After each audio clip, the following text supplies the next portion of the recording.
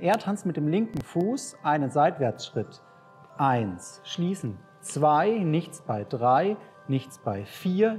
Er geht leicht nach vorne. Fünf, schließt bei sechs, sucht den Körperkontakt. Das muss ein bisschen der Mann steuern. Wenn zwischen uns Luft ist, dann haben wir nachher ein Problem. Richtig schön eng an die Frau ran. Hallo, mein Name ist Volker. Ich bin Petra. Und wir zeigen euch heute zusammen unsere Hochzeitstanz-Choreografie auf den Song Perfect von Ed Sheeran. Den Rücken der Frau rumschlingen, den Arm die andere Seite, da fixiere ich das Bein richtig mit Druck an den Körper.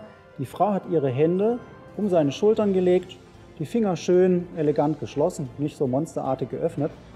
Also stark umdrehen, vor allem auf Schritt Nummer 5, das ist der Trick für diese Abschlussdrehung. Wir zeigen das ohne Pause. 1, 2, 3, 4, 5, 6, 7, 8. Nichts bei 7, Knie anheben bei 8. Dabei darauf achten, dass die Fußspitze nach unten zeigt und nicht die Fußspitze angehoben wird.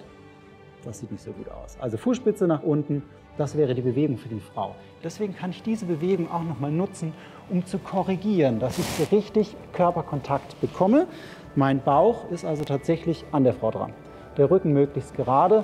Jetzt umschließe ich hinten die Hände um die Oberschenkel der Frau und ich umschließe die Hände so, dass die Finger ineinander verzahnt sind.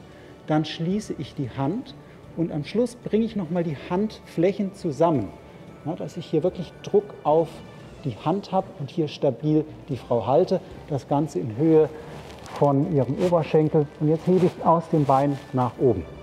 Von unten nach oben schwingen, dann nach außen führen am Arm der Frau entlang. Und ich habe gerade deinen Kopf berührt, das sollten wir unbedingt vermeiden als Mann.